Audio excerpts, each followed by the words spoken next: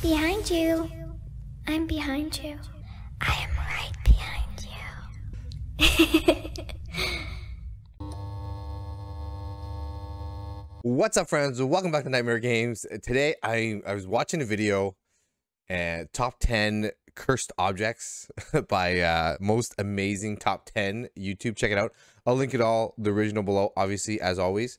But I got through the first, the first cursed object, and I thought I need to share my thoughts on this because this, this is ridiculous.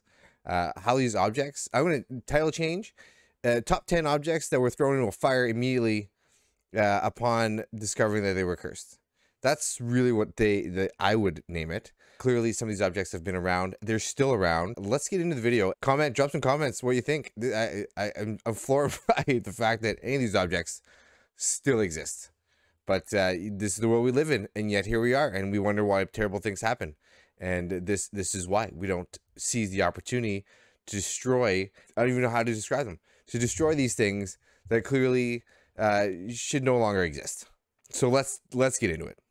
Today we have the Dybbuk box. The box, which was originally just a plain old wine box, is said to have I'm gonna have to stop. It's a very good video. It's well done. But this uh, girl here, uh, she does a lot of speaking throughout and narrating. So uh, in order to get my comments and my thoughts clearly across, I'll have to pause as we go along here been possessed by a Dybbuk, which, in Jewish mythology, is a malicious demon that takes over the bodies of living people and uses them for evil. The box began to gain attention in 2001 when it was being auctioned off on eBay. The seller explained that he had bought it at an estate sale of a woman who had survived.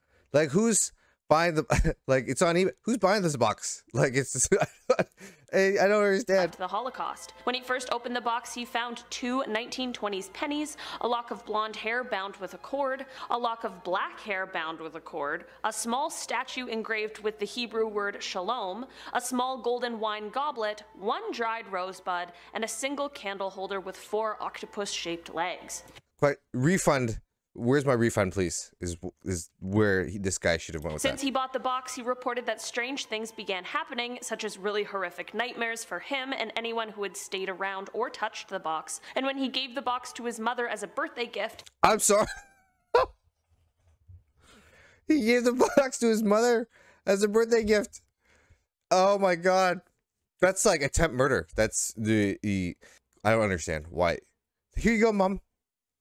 She suffered a stroke the same day. The box ended up in the hands of Zach Bagans, who is a paranormal investigator, and it now resides in his haunted museum. The box also gained even more attention in 2018 when Post Malone touched it, and has apparently been dealing with the repercussions of that ever since. In Why would you touch it? I don't understand. Like, hey guys, this is a super haunted box. Uh, it gives people strokes and nightmares. But uh, go ahead if you want to just if you want to graze it, go ahead. In our number eight Skip number nine. It was uh, Mummified Man. Not really that interesting, to be honest, but uh, let's continue on with this. But today we have the Hope Diamond. This gorgeous, unusually large diamond is a blue color and worth an insane $250 million. That'll kill somebody. In the off chance you have that Somebody would get killed for that. I mean, cursed or not. Yeah. kind of money laying around, I still wouldn't recommend purchasing it because it is said to be cursed. The curse dates back to the 17th century and That's it is just that's just something the guy that owns it made up probably. Don't it's cursed. Don't t- don't take my diamond. that whoever wears the diamond will have great misfortune and misery. Legend goes that the diamond was stolen from the eye of a sculpted See? statue Stolen. of the Hindu goddess Sita, and since then it has been cursing whoever owns or possesses the 115 carat diamond. Stories of the horrible fates of those who have since owned the diamond include people taking their own lives, people being killed intentionally by others, and some Yeah. accounts even Well- claim that the owner was, quote, torn to pieces, Well, that's which sounds like one of the worst fates out there. There have since been replicas made of the stone, and I think just to be as safe as possible, I'll probably stay away from those. Just in case. In our number seven spot today, we have Robert the Doll. And look at this doll. Whether this doll is cursed or not, uh, it's cursed. Look at it. Annabelle gets a lot of attention for being a haunted doll, but Robert is just as terrifying. Robert the Doll was a childhood birthday gift from The the doll wasn't cursed. A curse morphed itself into the shape of a doll. Clearly, look at this thing. That's disturbing. So disturbing. grandfather to his grandson, who was also named Robert, but more often went by Gene. The story claims that while growing up with Robert, Gene would often be heard by his parents in his bedrooms having conversations with himself in two entirely different voices. His parents would sometimes be woken up in the middle of the night to the sound of Gene screaming, only to find him Oh. completely frightened Scary in story. bed with overturned furniture around him. Gene would then blame Robert for all of Again, this doll still exists. It's still, it's still physically uh, in this in this world. The strange happenings, and at the time, no one really believed him. Gene kept Robert into adulthood, and it became what people would describe as an unhealthy relationship. He kept Apparently, him. Gene took Robert everywhere with him and spoke as if he was a living entity rather than a doll. Okay, this story is already not great, but it gets worse. Gene Oh, lived in a house good, as good. an adult that was called the artist's house. Robert would be left in the upstairs window where children in the area reported seeing the doll disappear and reappear, and they all chose. Why would someone do that to the neighborhood kids? Why are you? Why would you put the doll in the window uh, for the kids to stare at? That's just cruel. to just stay clear of the house. Agreed. After Gene passed Stay away in clear of 1974, a woman named Myrtle purchased the house and apparently Robert as well. Visitors of the house could swear that they could hear footsteps and giggling coming from the attic where Robert was, and some even claimed to see the doll's expression changed if someone spoke poorly I'm staring at it too long. Oh my god. The the condition of the house, if I were to buy the house, would be one. I wouldn't buy the house. I would put the doll in the house, burn the whole thing down. But uh, if I were to buy the house, one of the conditions obviously would be you take the doll with you. That's condition number one. of Gene. Myrtle reported Robert moving around the house on his own, and after 20 years, she decided she 20 had had years? and do- This woman is the patron saint of patience. It took her 20 years to realize that uh, this was a bad idea. The patience, or mm, donated him to a museum. Robert still lives in the museum where he is safely locked up, but it is said that he still likes to place a little curse on those who take his photo without permission. The walls of the museum near Robert's glass case are riddled with notes from previous visitors and naysayers who are begging Robert for his forgiveness and asking him to remove any curse he has placed on them. In our number six Yeah. spot today, we have the Atlantis Ring. The Atlantis Ring was originally made of clay and it was found in 1860 in the Valley of the Kings in a tomb of an Egyptian high priest. Don't fuck with the tombs. Passed on to Don't Howard mess with the Carter, tombs. Kept it until he passed away in 1939. The ring was believed to be at least 5,000 years old, and it had geometric symbols carved into it that were unlike anything known in Egypt. Here's where the story gets a little weird, though. Hit me with it. Howard is one of the people who discovered King Tut's tomb, and he would later tell people he was wearing a talisman when the tomb was opened, also known as the Atlantis Ring. He claimed that the ring gave him protection, and that just might be true because he is the only member of the team who didn't die a mysterious death after the opening of the tomb. Even Yeah. those who visited shortly after the opening of the tomb were subject to this curse with a total of 18 victims in the end. Howard said that the ring is what protected him against whatever evil forces were at play. So I guess maybe the Atlantis ring is more like an anti-curse Yeah, that's not a curse. That's a good know. thing. But what I do know Send is it. that it is all quite curious. There are now replicas that are sold, but I'm not sure if any hold the power of the real deal. In our number five spot today, we have Thomas Busby's chair. Thomas was a man who lived in Thirsk, North Yorkshire, and wasn't Okay. known as a very nice man, but he really loved his chair. I guess we all gotta have something. In 1702, he found his father in law sitting in it, and it sparked an argument between the two. The father in law threatened to take his daughter back, which, like, should have never been a threat considering she's a grown woman, but I guess that's what went on. Ah, in these things happen, that's fine. Anyway, that's when Busby kicked him out of the house. After this, Busby ended up going over to the father in law's house and actually killed him with a hammer and then hid his body in the woods. Wow. Of course, the body ended up being found, and this led to Busby getting convicted and sentenced to death. It is said that on his ride to the execution, he asked to stop by his favorite pub for a beer, and this request was fulfilled. Apparently, as he finished his drink, he said, May sudden death come to anyone who dares sit in my chair. I burn the chair. See, right when he said that,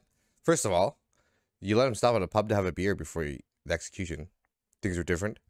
Uh, and and then he placed a curse on the chair. The fact that the chair is still there, uh, see, it boggles my mind.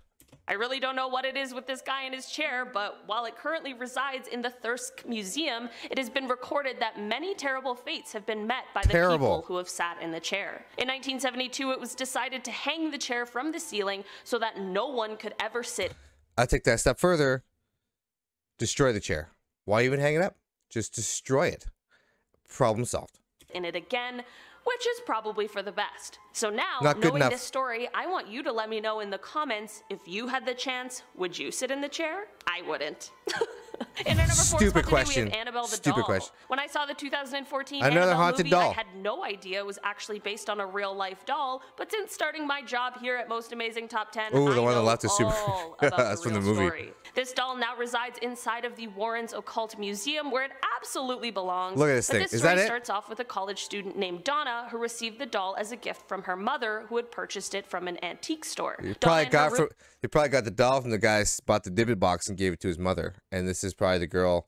That's his mother. The mother giving it to yeah. That's probably this is all this is all connected. roommates started to notice some pretty creepy things happening and swore that the doll was moving. They said it would appear in different places and positions throughout their apartment before One things time. began to escalate. It would move Donna one time in my house. that said help in her apartment, and one night found the doll in a different position and covered in some sort of red substance. The girls then decided to contact a medium who solidified all of their beliefs and told them that the doll had been possessed by the spirit of someone who was killed in their apartment building. For some reason, the girls didn't immediately terrible. get rid of the doll, and the story goes that their friend Lou, who was at the girl's apartment, heard strange noises one night and went to investigate, and he was then attacked and killed by Annabelle. The girls finally Well, that's a contacted little- a a priest little who told for- them that priest. the doll was possessed by a demon straight from hell, and then put them in contact with Ed and Lorraine Warren. They tried to do an exorcism on the doll, but it apparently failed, and now it is kept in a glass box in the But you know what is better than exorcism? I'm gonna go back to this. A giant fire. That would that would do it. I think. museum where it hopefully cannot and will never do any more damage. In our number three spot today, we have the Uluru Rock. The Uluru Rock is a large sandstone formation that is located in the southern part of the Northern Territory in Australia. It is mm, sometimes known as Ayers Rock, but regardless of what it is called, this area is sacred for the people indigenous to this place. This is part of the reason that those who visit the Don't rock mess with are the asked sacred. not to take anything from the site. Despite this, people of course still choose to smuggle pieces of the rock out of the area and home with them. That's well, their problem. Other than the bad karma and just in general feeling like a bad person for doing the one thing you're asked not to do, as it turns out, this rock may hold a more sinister secret. Those who have stolen rocks from the Uluru have experienced things like extremely bad luck, severe illness, and even sometimes the death of those they love. The curse these rocks hold is seemingly so bad that it is very common for the company that runs the tours of the formation to receive letters of apology that contain the stolen rocks. Yeah, that's uh, Apparently y- these letters that's your problem. You did that. You did it to yourself. That's I. There's no sympathy there. Don't steal. Don't steal sacred bits of rock.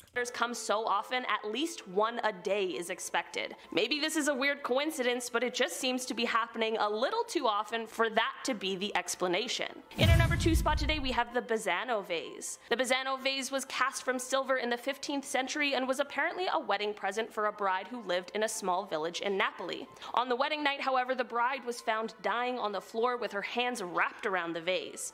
With her last breath, she vowed to have her Oh. revenge, and at this I got the point, it became unclear whether the vase was already cursed or perhaps if this may be what Oh my caused the don't curse in the first place. Oh, As time went on, the vase Oh, was handed from person to person within her family, and with each new owner came a mysterious death. Because of this, the Smash-o. family decided to hide the vase away in some sort of secret location, and this worked for a while until the vase was unearthed once more in 1988. Why not the break vase it? also contained a piece of paper from the family that warned, "Beware, this vase brings death." Well, of course, whoever found the vase did pretty not listen, and instead they sold it once again. The first buyer, eBay. who is said to have been a pharmacist, owned the vase for three months before passing away under mysterious circumstances. Then there was the 37-year-old surgeon who died after having the vase for two months. After this was the archaeologist who only made it three months with this vase in his possession, and at this point you get where this is going. We don't know exactly where the vase ended up, but I'm hoping it's somewhere deep underground. Or destroyed. Or maybe in space. Or maybe in the Mariana Trench. Just anywhere far away from all of us. In our number one spot today, we have the Goddess of Death. The this goddess statue of is sometimes death. also known as the Woman from Lem. This artifact, made out of limestone, was created sometime around 3500 BC, and it was found in Cyprus in 1878. Over the years, it has belonged to many different families who have all been ruined and dismantled by death. After Why? the first six years of ownership, it, why? seven members of the first family Put it back. It then moved on to a second owner, and after four years, death began to come to him and Death his family. became- There was then a long period where it was unclaimed, but once the third family got a hold of it, several members of that family began to die as well. The third family ended up turning it over to the Royal Scottish Museum, where it thankfully Good. still See? resides. However, The the, third museum family, curator smart. who handled the item was mysteriously killed a few days after. Oh my God. It is clear whatever curse this statue holds, it is strong and frightening. So there you had it. I want to share that with you. A couple of my comments. Uh, clearly, I revert always back to uh, the fire, the big giant fire that these things all should have been thrown into as they were discovered to be dangerous and or cursed. But uh, yet here we are. They sit in museums. People touch them. They look at them. They take pictures, and bad things continue to happen. I don't understand. Are if people are just you know the cavemen they they invented fires for three reasons. One, for heat and and for heat and light. Two, to cook their food and three to throw cursed objects uh, into them to destroy them forever. I'm sure that's the reason fire was invented. So they should just carry on that tradition, and all these items should uh, no longer be existent in existence. But uh, yeah, here we are. So hope you enjoyed that. Let's get back to playing some games. So subscribe, YouTube, like all that stuff, and we'll catch you on the next one.